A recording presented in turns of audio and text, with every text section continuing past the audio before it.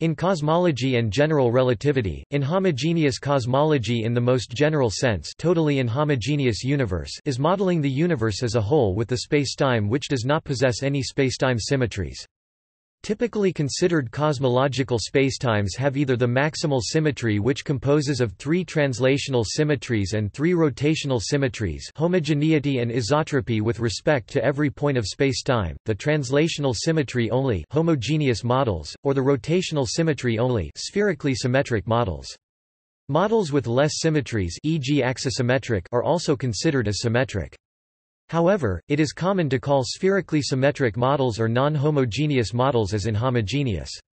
In inhomogeneous cosmology the large-scale structure of the universe is modeled by exact solutions of the Einstein field equations i.e. non-perturbatively unlike in the theory of cosmological perturbations which is the study of the universe that takes structure formation galaxies, galaxy clusters, the cosmic web into account, but in a perturbative way. This usually includes the study of structure in the universe by means of exact solutions of Einstein's field equations i.e. metrics or by spatial or spacetime averaging methods.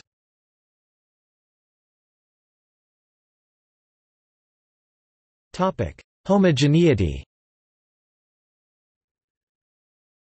Such models are not homogeneous, but may allow effects which can be interpreted as dark energy, or can lead to cosmological structures such as voids or galaxy clusters.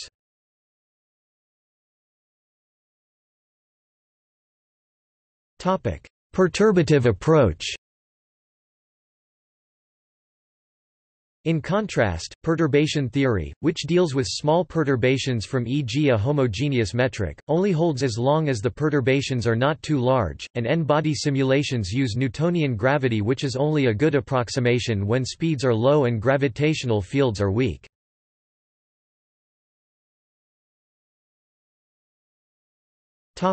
Non-perturbative approach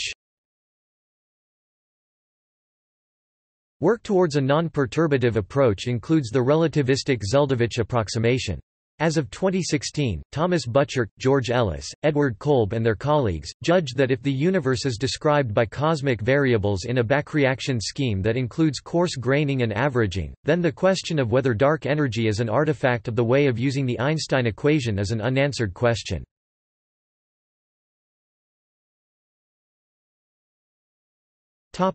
Exact solutions The first historically examples of inhomogeneous though spherically symmetric solutions are the Lemaitre-Tolman metric or LTB model, Lemaitre-Tolman-Bondi. Stephani metric can be spherically symmetric or totally inhomogeneous. Some other examples are the Szekeres metric, Szafron metric, Barnes metric, Kustaanheimo Qvist metric, and Senovilla metric. The Bianchi metrics as given in Bianchi classification and Kantowski-Sachs metrics are homogeneous.